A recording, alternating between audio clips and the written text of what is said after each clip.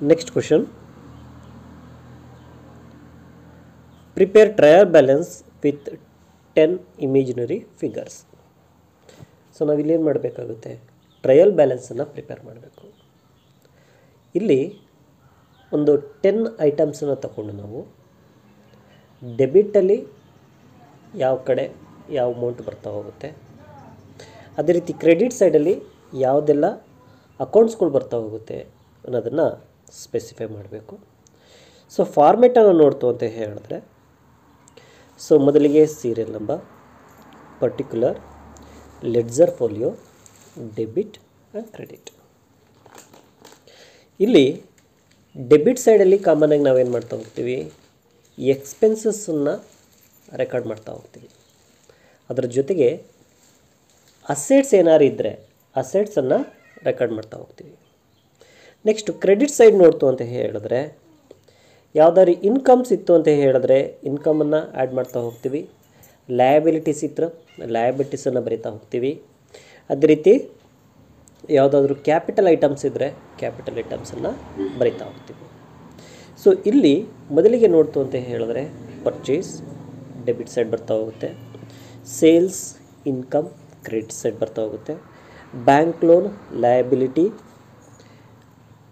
credit side ಬರ್ತಾ ಹೋಗುತ್ತೆ missionary assets debit side ಬರ್ತಾ ಹೋಗುತ್ತೆ ಕ್ಯಾಶ್ ಅಸೆಟ್ ಡೆಬಿಟ್ ಸೈಡ್ ಬರ್ತಾ ಹೋಗುತ್ತೆ capital it is a capital credit side record ಮಾಡ್ತಾ ಹೋಗ್ತೀವಿ debit it is a asset debit side record ಮಾಡ್ತಾ ಹೋಗ್ತೀವಿ sorry debtors it is a asset record in the debit side next creditor ಇದು ಸಹ liability so ಹಾಗೆ credit side record ಮಾಡ್ತಾ ಹೋಗ್ತೀವಿ.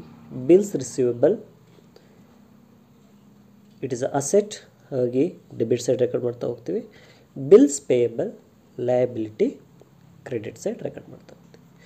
So ನಿಮಗೆ ಟ್ರಯಲ್ ಬ್ಯಾಲೆನ್ಸನ್ನು ಪ್ರಿಪೇರ್ ಮಾಡೋ ಮೊದಲು ಅಸೆಟ್ಸ್ ಯಾವುದು ಲಯಬಿಲಿಟಿ ಯಾವುದು ಕ್ಯಾಪಿಟಲ್ ಯಾವುದು?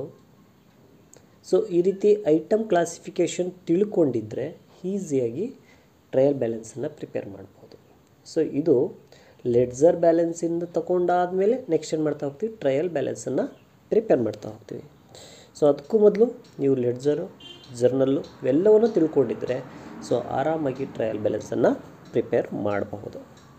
ನೆಕ್ಸ್ಟು, ಸೊ, ನೆಕ್ಸ್ಟ್ ಕ್ವೆಶನ್ ಬಂದು ನಿಮಗೆ, prepare machinery account for two years with imaginary figures under the straight line method.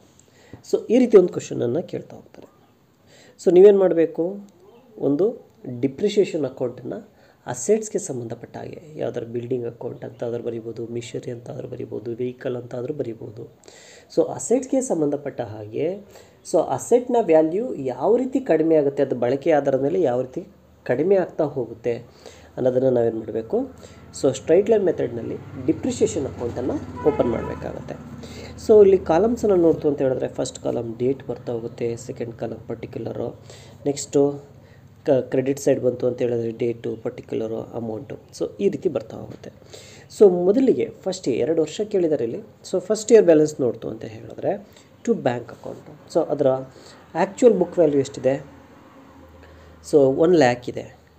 So ಅದಕ್ಕೆ ಫಸ್ಟ್ ಇಯರ್ಗೆ ನಾವು ಡಿಪ್ರಿಷಿಯೇಷನ್ ಕೊಡ್ತಾ ಹೋಗ್ತೀವಿ. ಸಾಮಾನ್ಯ ಡಿಪ್ರಿಷಿಯೇಷನ್ ಇಯರ್ ಎಂಡಿಂಗಲ್ಲಿ ಕೊಡಬೇಕಾಗತ್ತೆ. ಸೊ ಇಲ್ಲಿ ಡಿಪ್ರಿಷಿಯೇಷನ್ ಕೊಡ್ತಾ ಹೋಗ್ತೀವಿ. ಸೊ ಡಿಪ್ರಿಷಿಯೇಷನ್ ಒಂದು ಟೆನ್ ಪರ್ಸೆಂಟ್ ಅಂತ ಹೇಳಿ ಇಮ್ಯಾಜಿನೇಷನ್ ಮಾಡಿಕೊಂಡ್ರು ಸೊ ಹತ್ತು ಸಾವಿರ ರೂಪಾಯಿ ಬರ್ತಾ ಹೋಗುತ್ತೆ. ಸೊ ಹಾಗೆ ಡೆಬಿಟ್ ಸೈಡ್ ಮತ್ತು ಕ್ರೆಡಿಟ್ ಸೈಡು ಕೂಡಿಸ್ಕೊಂಡಾಗ ಯಾವ ಸೈಡ್ ಅಮೌಂಟ್ ಜಾಸ್ತಿ ಇದೆ? ಸೊ ಆ ಬ್ಯಾಲೆನ್ಸಿಂದ ಕಡಿಮೆ ಇರುವಂಥ ಸೈಡನ್ನು ಡಿಫ್ರೆನ್ಸ್ ಮಾಡಿದ್ರೆ ಸೊ ನಮ್ಗೆ ಏನು ಮಾಡ್ತಾ ಹೋಗುತ್ತೆ? ಡಿಫ್ರೆನ್ಸ್ ಅಮೌಂಟ್ ಸಿಗ್ತಾ ಹೋಗುತ್ತೆ. ಅಂದರೆ ಒನ್ ಲ್ಯಾಕ್ ಡೆಬಿಟ್ ಸೈಡ್ ಜಾಸ್ತಿ ಇದೆ ಕ್ರೆಡಿಟ್ ಸೈಡ್ ಎಷ್ಟಿದೆ? ಟೆನ್ ತೌಸಂಡ್ ಇದೆ. ಸೊ ಜಾಸ್ತಿ ಇರುವಂಥ ಬ್ಯಾಲೆನ್ಸನ್ನು ಡೆಬಿಟ್ ಸೈಡು ಬರ್ಕೊಳ್ತೀವಿ ಕ್ರೆಡಿಟ್ ಸೈಡು ಬರ್ಕೊಳ್ತೀವಿ. ನೆಕ್ಸ್ಟು ಟೆನ್ ತೌಸಂಡಿಂದ ಸಾರಿ ಒನ್ ಲ್ಯಾಕಿಂದ ಟೆನ್ ತೌಸಂಡನ್ನು ಮೈನಸ್ ಮಾಡ್ತು ಅಂತ ಹೇಳಿದ್ರೆ ನೈಂಟಿ ತೌಸಂಡ್ ಡಿಫ್ರೆನ್ಸ್ ಬರ್ತಾ ಹೋಗುತ್ತೆ. ಆ ಡಿಫ್ರೆನ್ಸ್ ಬ್ಯಾಲೆನ್ಸು ಆ ವರ್ಷದ ಕೊನೆಗೆ ಬಂದಾಗ ಆ ಮಿಷನರಿಗೆ ಸಂಬಂಧಪಟ್ಟ ಆಗಿರುವಂತಹ ಬುಕ್ ವ್ಯಾಲ್ಯೂ ಆಗಿರುತ್ತೆ. ಹಾಗಾಗಿ ಆ ನೈಂಟಿ ತೌಸಂಡನ್ನು ಸೆಕೆಂಡ್ ಇಯರ್ ಬಂದಾಗ ನಾವೇನು ಮಾಡ್ತಾ ಹೋಗ್ತೀವಿ? ಬ್ರಾಡ್ ಡೌನ್ ಮಾಡ್ಕೊಳ್ತಾ ಇರ್ತೀವಿ. So next again second year ಬಂದಾಗ ಇಯರ್ ಎಂಡಿಂಗ್ ಬಂದಾಗ ಡಿಪ್ರಿಷಿಯೇಷನ್ ಕೊಡ್ತಾ ಹೋಗ್ತೀವಿ. ಸೊ ಸ್ಟ್ರೈಟ್ ಲೈನ್ ಮೆಥಡ್ ಆಗಿರೋದ್ರಿಂದ ಸಾಮಾನ್ಯವಾಗಿ ಸೊ ಡಿಪ್ರಿಷಿಯೇಷನ್ ಅಮೌಂಟು ಫಿಕ್ಸ್ಡ್ ಆಗಿರುತ್ತೆ. ಯಾವುದೇ ರೀತಿ ಚೇಂಜಸ್ ಆಗೋಲ್ಲ. ಹಾಗಾಗಿ ಸೊ ಡಿಪ್ರಿಷಿಯೇಷನ್ ಬಂದು ಅಮೌಂಟ್ ಟೆನ್ ತೌಸಂಡು ನೆಕ್ಸ್ಟ್ ಏನು ಮಾಡಬೇಕು? Debit side credit side ಕೂಡಿಸ್ಕೊಳ್ತೀವಿ. So ninety thousand ninety thousand ಜಾಸ್ತಿ ಇರೋ ಬ್ಯಾಲೆನ್ಸನ್ನು ಎರಡು ಕಡೆ ತೊಗೊಳ್ತೀವಿ. ಸೊ ನೆಕ್ಸ್ಟು ಸೊ ಟೆನ್ ತೌಸಂಡನ್ನು ಲೆಸ್ ಮಾಡಿದಾಗ ಡಿಫರೆನ್ಸ್ ಅಮೌಂಟ್ ಏಯ್ಟಿ ತೌಸಂಡ್ ಬರ್ತದೆ ಇದು ಆ ಎರಡನೇ ವರ್ಷಕ್ಕೆ ಬಂದಾಗ ಸೊ ಕೊನೆ, ಆ ಎರಡನೇ ವರ್ಷದ ಬುಕ್ ವ್ಯಾಲ್ಯೂ ಆಗಿರುತ್ತೆ. ಸೊ ಇದಿಷ್ಟು ಸಾಮಾನ್ಯವಾಗಿ ಮಿಷರ್ ಅಕೌಂಟಿಗೆ ಸಂಬಂಧಪಟ್ಟಾಗಿರುವಂಥ ಸ್ಟ್ರೈಟ್ ಲೈನ್ ಮೆಥಡ್ನಲ್ಲಿ ಡಿಪ್ರಿಷಿಯೇಷನ್ ಅಕೌಂಟ್ಗೆ ಸಂಬಂಧಪಟ್ಟಿರುವಂಥದ್ದು. ಸೊ ನೆಕ್ಸ್ಟು ಎರಡನೇ ಕ್ವೆಶನ್ ಬಂದಾಗ prepare machinery account for two years with imaginary figures under the written down value method same written down value ಮೆಥಡಲ್ಲಿ depreciation ಬಂದಾಗ ಮೂರು ರೀತಿ ಮೆಥಡ್ ನೋಡ್ತಾ ಹೋಗ್ತೀವಿ. ಒಂದು written down value method second one straight line method next annuity method next sinking fund methods ಅಂತ ಹೇಳಿ ನಾವು ಡಿಪ್ರಿಷಿಯೇಷನಲ್ಲಿ different types of ನೋಡ್ತಾ ಹೋಗ್ತೀವಿ. ಅದರಲ್ಲಿ ಎರಡನೇ ಮೆಥಡ್ ಬಂದಾಗ written down value method so ಇಲ್ಲೂ ಸಹ ನಾವೇನು ಮಾಡಬೇಕು? ಸೊ ಮಿಷರ್ ಅಕೌಂಟನ್ನು ಪ್ರಿಪೇರ್ ಮಾಡಬೇಕು. So very simple okay so very simple ಆಗಿರುತ್ತೆ. ಸೊ ಇಲ್ಲೇನು ಮಾಡಬೇಕು? Machinery account. Opening book value ಎಷ್ಟಿದೆ? ಒನ್ ಲ್ಯಾಕ್ ಇದೆ ಅಂತ ತಿಳ್ಕೊಳ್ಳೋಣ ಮೊದಲನೇ ವರ್ಷಕ್ಕೆ ಬಂದಾಗ. ಸೊ ಎರಡನೇ ಇದು ಬಂದಾಗ ಅದಕ್ಕೆ ಡಿಪ್ರಿಷಿಯೇಷನ್ ಕೊಡಬೇಕು. ಸೊ ಹಾಗಾಗಿ ಇಯರ್ ಎಂಡಿಂಗು ಆ ವರ್ಷದ ಕೊನೆಗೆ ಡಿಪ್ರಿಷಿಯೇಷನ್ ಕೊಡ್ತಾ ಹೋಗ್ತೀವಿ. ಸೊ ಇಮ್ಯಾಜಿನೇಷನ್ ಮಾಡಿಕೊಂಡು ಟೆನ್ ಪರ್ಸೆಂಟ್ ಡಿಪ್ರಿಷಿಯೇಷನ್ ಅಂತ ಹೇಳಿ ಟೆನ್ ತೌಸಂಡ್ ಆಗುತ್ತೆ. ಹಾಗಾಗಿ ಬೇರೆ ಯಾವ ಐಟಮು ಬರಲ್ಲ. ಇಲ್ಲಿ ಅಡಿಷ್ನಲ್ ಪರ್ಚೇಸ್ ಆಗಿರೋದಿಲ್ಲ. ಅಥವಾ ಅಡಿಷ್ನಲ್ ಸೇಲ್ ಆಗಿರೋದಿಲ್ಲ. ಹಾಗೆ ಏನು ಮಾಡ್ತಾ ಹೋಗ್ತೀವಿ? ಎರಡು side ಕೂಡಿಸ್ಕೊಂಡಾಗ so debit side one lakh credit side ten thousand ಇದೆ. ಹಾಗಾಗಿ ನಾವೇನು ಮಾಡ್ತೀವಿ? ಯಾವ ಸೈಡ್ ಅಮೌಂಟ್ ಜಾಸ್ತಿ ಇದೆ ಅದನ್ನು ಎರಡು ತೊಗೊಳ್ತೀವಿ. ಸೊ ಅದಾದ ಮೇಲೆ ಕಡಿಮೆ ಇರುವಂಥ ಬ್ಯಾಲೆನ್ಸಿಂದ ಜಾಸ್ತಿ ಇರುವಂಥ ಬ್ಯಾಲೆನ್ಸನ್ನು ಲೆಸ್ ಮಾಡ್ತೀವಿ. ಲೆಸ್ ಮಾಡಿದಾಗ ನಮಗೆ ಸಿಗ್ತಾ ಹೋಗುತ್ತೆ? ನೈಂಟಿ ತೌಸಂಡ್ ಡಿಫ್ರೆನ್ಸ್ ಸಿಗ್ತಾ ಹೋಗುತ್ತೆ. ಆ ನೈಂಟಿ ತೌಸಂಡನ್ನು ಸೆಕೆಂಡ್ ಇಯರ್ ಏನು ಮಾಡ್ತಾ ಹೋಗ್ತೀವಿ? ಬ್ಯಾಲೆನ್ಸನ್ನು ಬ್ರಾಡ್ ಡೌನ್ ಮಾಡ್ತಾ ಹೋಗ್ತೀವಿ. ಸೊ ಅಲ್ಲಿ ಕ್ಯಾರಿ ಡೌನ್ ಆಗಿರುತ್ತೆ.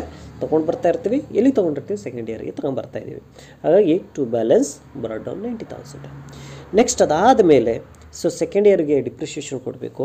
ಸೊ ಇಲ್ಲಿ ಡಿಪ್ರಿಷಿಯೇಷನ್ ಯಾವುದು ಕೊಡ್ತೀವಿ ಅಂತ ಹೇಳಿದ್ರೆ ಸೆಕೆಂಡ್ ಇಯರ್ ಬುಕ್ ವ್ಯಾಲ್ಯೂ ಏನಿದೆ, ಅದು ಕೊಡ್ತಾ ಹೋಗ್ತೀವಿ. ನೋಡಿ ಸ್ಟ್ರೈಟ್ ಲೈನ್ ಮೆಥಡ್ನಲ್ಲಿ ಸೊ ಡಿಪ್ರಿಷಿಯೇಷನ್ ಅಮೌಂಟು ಫಿಕ್ಸ್ಡ್ ಆಗಿರುತ್ತೆ. ರಿಟರ್ನ್ ಡೌನ್ ವ್ಯಾಲ್ಯೂ ಮೆಥಡ್ನಲ್ಲಿ ಡಿಪ್ರಿಷಿಯೇಷನ್ ಅಮೌಂಟು ಆ ವರ್ಷದ ಕೊನೆಗೆ ಬರುವಂಥ ಬುಕ್ ವ್ಯಾಲ್ಯೂ ಏನಿರುತ್ತೆ, ಆ ನೆಕ್ಸ್ಟ್ ಇಯರ್ ಬಂದಾಗ ಆ ಬುಕ್ ವ್ಯಾಲ್ಯೂ ಮೇಲೆ ನಾವು ಡಿಪ್ರಿಷಿಯೇಷನ್ನ ತೆಗಿತಾ ಹೋಗ್ತೀವಿ. ಸೊ ಹಾಗಾಗಿ ಇಲ್ಲಿ ನೈಂಟಿ ತೌಸಂಡ್ ಮೇಲೆ ಸೊ ಟೆನ್ ಪರ್ಸೆಂಟ್ ಡಿಪ್ರಿಷಿಯೇಷನ್ ತೆಗೆದಾಗ ನೈಂಟಿ ನೈನ್ ತೌಸಂಡ್ ಬರ್ತಾ ಹೋಗುತ್ತೆ. ಹಾಗಾಗಿ ಆ ನೈನ್ ತೌಸಂಡ್ ನಾವೇನು ಮಾಡ್ತೀವಿ? ಕಳ್ಕೊಳ್ತೀವಿ. ನೈಂಟಿ ತೌಸಂಡ್ನ ಕಳ್ಕೊಳ್ತೀವಿ. ಸೊ ಡಿಫ್ರೆನ್ಸ್ ಎಷ್ಟು ಉಳ್ಕೊಳ್ಳುತ್ತೆ? ಏಯ್ಟಿ ಒನ್ ತೌಸಂಡ್ ಉಳಿಯುತ್ತೆ. ಇದು ಎರಡನೇ ಪ್ರಾಬ್ಲಮ್ ನೆಕ್ಸ್ಟ್ ಅದಾದ ಮೇಲೆ ಯಾವುದಕ್ಕೆ ಸಂಬಂಧಪಟ್ಟ ಹಾಗೆ? ಫೈನಲ್ ಅಕೌಂಟ್ಸ್ಗೆ ಸಂಬಂಧಪಟ್ಟ ಹಾಗೆ. ಸೊ ಪ್ರಶ್ನೆ ಯಾವ ರೀತಿ ಕೇಳ್ತಾ ಹೋಗ್ತಾರೆ? Prepare trading account with five imaginary figures ಅಂದರೆ ಇಲ್ಲಿ ಪ್ರಾಬ್ಲಮನ್ನು ಅವ್ರು ಕೊಡ್ಲಿಕ್ಕೆ ಬರಲ್ಲ. ನೀವೇನು ಮಾಡ್ಕೊಳ್ಬೇಕು? ಇಮ್ಯಾಜಿನೇಷನ್ ಮಾಡಿಕೊಂಡು ಸೊ ನೆಕ್ಸ್ಟು ಫೈನಲ್ ಅಕೌಂಟ್ಸಲ್ಲಿ ಟ್ರೇಡಿಂಗ್ ಅಕೌಂಟ್ ಕಡೆ, ಅದರಲ್ಲಿ ಟ್ರೇಡಿಂಗ್ ಅಕೌಂಟಲ್ಲಿ ಡೆಬಿಟ್ ಸೈಡ್ ಯಾವ್ದು ಬರ್ತಾ ಹೋಗುತ್ತೆ? ಕ್ರೆಡಿಟ್ ಸೈಡ್ ಯಾವ ಕಡೆ ಬರ್ತಾ ಹೋಗುತ್ತೆ? ಆ ಬ್ಯಾಲೆನ್ಸನ್ನು ಬರೆದು ಸೊ ಗ್ರಾಸ್ ಪ್ರಾಫಿಟ್ ಆಗಿದೆಯಾ ಗ್ರಾಸ್ ಲಾಸ್ ಆಗಿದೆಯಾ ಅಂತ ಹೇಳಿ ಫೈಂಡ್ ಔಟ್ ಮಾಡಬೇಕಾಗತ್ತೆ. ಸೊ ಇಲ್ಲಿ question prepare trading account with five imaginary figures so ಇಲ್ಲಿ ಪ್ರಿಪೇರ್ ಮಾಡ್ತಾ ಹೋಗೋದು ನೋಡ್ತಾ ಇದ್ರೆ so debit side credit side ಎರಡು ಸೈಡ್ ಟಿ ಫಾರ್ಮೆಟನ್ನು ತೊಗೊಳ್ಬೇಕು. ಸೊ ಡೆಬಿಟ್ ಸೈಡಲ್ಲಿ ನಾವೇನು ಮಾಡ್ತಾ ಹೋಗ್ತೀವಿ? ಎಕ್ಸ್ಪೆನ್ಸಸನ್ನು ರೆಕಾರ್ಡ್ ಮಾಡ್ತಾ ಹೋಗ್ತೀವಿ. ಕ್ರೆಡಿಟ್ ಸೈಡ್ ಏನು ಮಾಡ್ತಾ ಹೋಗ್ತೀವಿ? ಇನ್ಕಮ್ಸನ್ನು ರೆಕಾರ್ಡ್ ಮಾಡ್ತಾ ಹೋಗ್ತೀವಿ.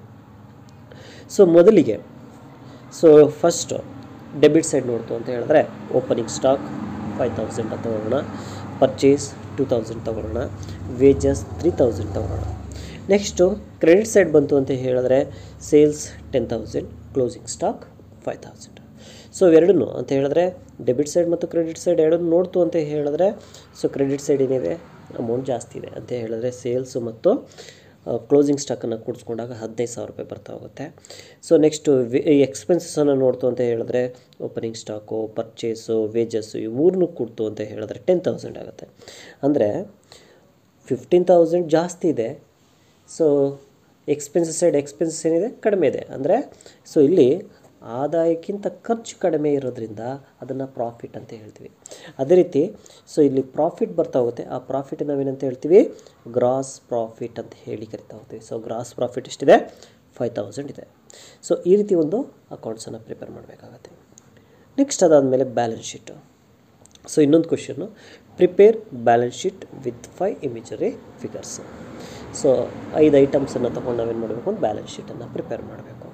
ಸೊ ಮೇನ್ ಹೆಡ್ಸ್ ಬರ್ತಾ ಹೋಗುತ್ತೆ ಮೇನ್ ಹೆಡ್ಸ್ ಆದರೂ ಬರಿಬೋದು. ಮ್ಯಾಕ್ಸಿಮಮ್ ಮೇನ್ ಹೆಡ್ಸ್ ಬರೆದ್ರೆ ಇನ್ನೂ ತುಂಬ ಚೆಂದ. ಅಥವಾ ಏನೂ ಗೊತ್ತಾಗಲಿಲ್ಲ ಅಂತ ಹೇಳಿದ್ರೆ ಸಿಂಪಲ್ಲಾಗಿ ಸೊ ಗೊತ್ತಿರೋಂಥ ಐಟಮ್ಸನ್ನು ಬರೆದ್ರೆ ಸಾಕು. ಇಲ್ಲಿ ಅಸೆಟ್ಸ್ ಯಾವುದು ಐಟಮ್ ಬರ್ತಾ ಹೋಗುತ್ತೆ ಲ್ಯಾಬ್ರಿಡ್ ಸೈಡ್ ಯಾವುದು ಬರ್ತಾ ಹೋಗುತ್ತೆ ಅನ್ನೋದನ್ನು ತಿಳ್ಕೊಂಡಿದ್ರೆ ಆರಾಮಾಗಿ ನೀವು ಐದಕ್ಕೆ ಐದು ಅಂಕವನ್ನು ತಗೊಳ್ಬೋದು.